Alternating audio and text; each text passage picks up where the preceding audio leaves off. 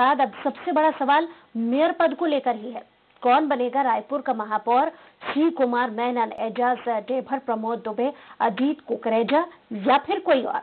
दावेदार एक दूसरे के बारे में क्या सोचते हैं? जानने के लिए मौजूदा मेयर प्रमोद दुबे और दूसरी दावेदार एजाज टेबल से हमारे संवाददाता रूपेश गुप्ता ने खास बातचीत की। ये तस्वीर बड़ी दिलचस्प है क्योंकि एजाज ढेबर और प्रमोद दुबे एक दूसरे को मिठाई खिला रहे हैं और कहा यह जा रहा है कि रायपुर का मेयर कौन होगा। इनमें इन दोनों की दावेदारी प्रबल बताई जा रही है। आप मौजूदा मेयर हैं, एक दूसरे को मिठाई, केक भी खाकर के क्रिसमस की बधाई दे रहे हैं, जीत की शुभकामनाएँ दे रहे हैं। मेयर का फैसला कैसे पार्टी के जो हमारे अध्यक्ष हैं और माननीय मुख्यमंत्री जी और सभी सम्मानित पार्षदगण, जो पार्टी का आदेश होगा, वो हम लोग पार्टी लाइन में काम करने वालों में से हैं।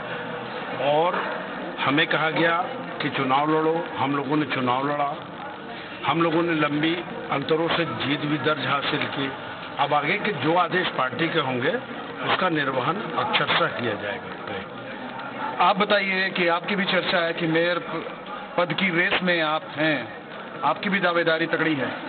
देखिए सेम जैसे बताया ना प्रमोद भैया ने कि हमारे यहाँ संगठन हमारे यहाँ पीसीसी चीफ हमारे यहाँ माननीय तो भाजपा में होता है संगठन? नहीं नहीं नहीं हमारे यहाँ भी संगठन का बहुत बड़ा रोल रहता है। हमारे यहाँ ऐसा नहीं है। और संगठन संगठन ही सब कुछ होता है हमारे यहाँ। तो संगठन तय करेगा जिसको भी मेयर बनना है। स्वाभाविक रूप से दावेदारी हमारी भी है मगर आखिरी फैसला संगठन को पार्षद दल को माननीय मुख्यमंत्री जी को और जो पर्यवेक्षक बनेगा उसको करना है। नहीं लेकिन पिछली बार विधानसभा चुनाव में ऐसा हुआ था कि आपको टिकट नहीं मिली तो आपके तमाम सपोर्टर्स कांग्रेस ऑफ़िस आ गए थे।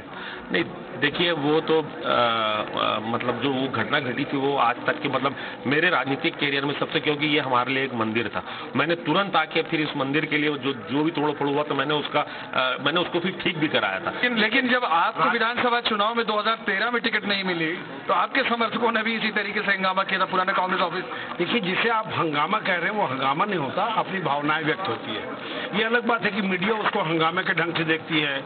तो सरकार है, राज्य में इसलिए काम बहुत अच्छा होगा, और इसी के मद्देनजर दोनों ये कह रहे हैं कि जो संगठन का फैसला होगा, वो स्वीकार होगा।